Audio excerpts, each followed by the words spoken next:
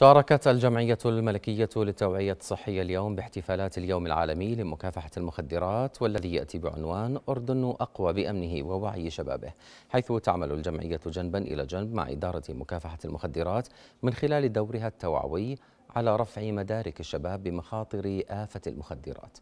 وتستهدف الجمعية فئة اليافعين والشباب لتزويدهم بالمهارات الحياتية الضرورية للوقاية من السلوكيات الخطرة بشكل عام والمخدرات بشكل خاص.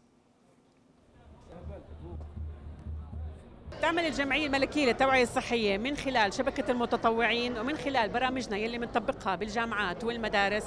بتعزيز آه، مهارات الشباب وذلك عشان إحنا نقدر نقويهم آه، لأنه آه، يصير عندهم المهارات لعدم الانسياق وراء